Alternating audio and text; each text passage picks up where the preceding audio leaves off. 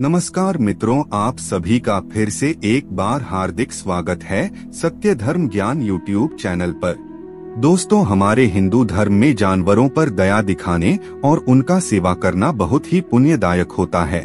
गाय, कुत्ता या पक्षी आदि को रोटी और दाना खिलाने से हमारे पुण्य की मात्रा कई गुना ज़्यादा बढ़ जाती है। हमें कुत्ते को रोटी देने से धन, दौलत, सुख समृद्धि की प्राप्ति होती है। इसके अलावा धार्मिक ग्रंथ यह भी कहते हैं कि लगातार पूरे साल भर तक कोई व्यक्ति कुत्ते को रोटी खिलाता है तो उसका घर धन और दौलत से भर जाता है।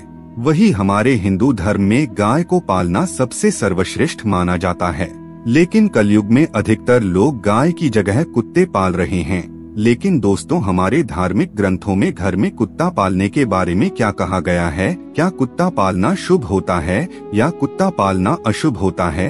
वही ज्योतिष शास्त्र में भी कुत्ता रखने के बारे में विशेष बातें बताई गई है, जिसके बारे में जानने के लिए आप हमारे इस वीडियो में अंत तक ज़रूर बने रहिए। आज हम आप लोगों को इस वीडियो में बताएँगे कि घर में कुत्ता पालने से क्या लाभ होते हैं और क्या नुकसान होते हैं। लेकिन मित्रों, वीडियो में आगे बढ़ने से पहले अगर आपने अभी तक हमारे चैनल को सब्सक्राइब नहीं किया है तो कृपया अभी हमारे चैनल को सब्सक्राइब कर लीजिए ताकि आपको रोज़ाना ऐसे ही शास्त्रों में लिखित जानकारियाँ मिलती रहे।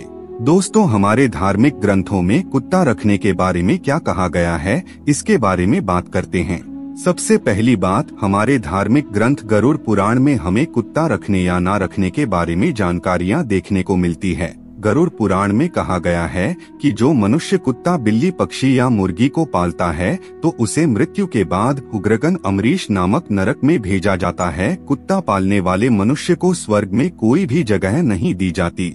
इतना ही नहीं, उस मनुष्य ने अपने जीवन में जितने भी पुण्य कर्म या दान धर्म आदि किए होते हैं, वह सभी घर में कुत्ता पालने से नष्ट हो जाते हैं।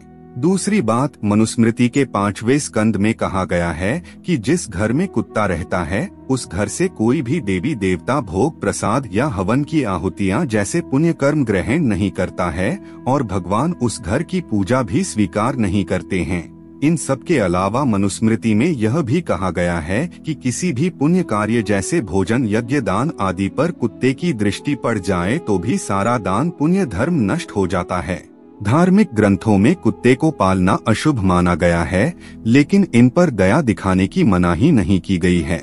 धर्म शास्त्रों के अनुसार जानवरों पर दया दिखाने और उनकी सेवा करना मनुष्य जीवन का सबसे बड़ा पुण्य कर्म है। साथ ही धार्मिक ग्रंथ यह भी कहते हैं कि घर से बाहर कुत्ते और पक्षी को रोटी और दाना देने से व्यक्ति के जीवन से बड़े से बड़े पाप नष्ट हो जाते हैं। इसके अलावा ज्योतिष शास्त्र में भी कुत्ते को रखने के संबंध में महत्वपूर्ण बातें बताई गई है। कुंडली के विश्लेषण के बाद कुत्ते को पालना शुभ होता है। अगर कुंडली में राहु भारी हो तो ज्योतिष शास्त्र के अनुसार कुत्ते को ज़रूर पालना चाहिए। इतना ही नहीं, शनि और केतु जैसे ग्रहों को शांत करने के लिए भी काले कुत्ते को पालना ज्योतिष शास्त्र में बहुत अच्छा माना जाता है। वही तेल से बनी हुई रोटी कुत्तों को खिलाने से शनि और केतु कुंडली में शांत होते हैं। दोस्तों, इसके अलावा कुत्ते को यम का दूत माना जाता है। अगर घर में कुत्ता होता है तो आकस्मिक संकटों से यह घर की रक्षा करता है। कुत्ता भगवान भैरव का सवारी होता है, जो घर के नकारात्मक ऊर्जा को खत्म करता है। साथ ही घर में किए जाने वाले जादू टोना के प्रभाव को नष्ट कर देता है। इतना ही नहीं ज्योतिष शास्त्र में यह भी बताया गया है कि काले कुत्ते को पालने से संतान सुख की प्राप्ति होती है। जिस मनुष्य को संतान नहीं होती, और वह इस चीज़ को लेकर बहुत ज़्यादा परेशान रहते हैं तो उन्हें काले कुत्ते को पालना चाहिए। दोस्तों, इन सब के अलावा कुत्तों को आने वाले भविष्य का ज्ञान होता है। घर में घटित होने वाली शुभ और अशुभ घटनाओं की झलक कुत्ते को पहले से ही पता चल जाती है। इसीलिए घर में कुत्ता होना ज्योतिष शास्त्र में शुभ बताया गया है। लेकिन उन्हीं घरों में कुत्ता होना चाहिए जिनकी कुंडली में राहु, केतु और शनि भारी होते हैं, अन्यथा घर में कुत्ता रखना आपके लिए अशुभ हो सकता है। दोस्तों, हमारे धार्मिक ग्रंथ और ज्योतिष शास्त्र के अनुसार एक बात समान मिलती है कि प्रतिदिन कुत्ते को रोटी देना सबसे बड़ा पुण्य कार्य है। वही घर की सबसे अंतिम रोटी पर कुत्ते का ही अधिकार होता है, जिसे कुत्ते को देने से घर की सारी नकारात्मक ऊर्जा नष्ट हो जाती है।